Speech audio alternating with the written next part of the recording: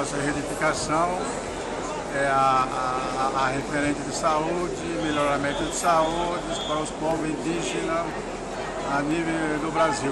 Nós, eh, de Mato Grosso, bem, viemos trazendo nossos, e a gente sentiu a referente de saúde em Mato Grosso.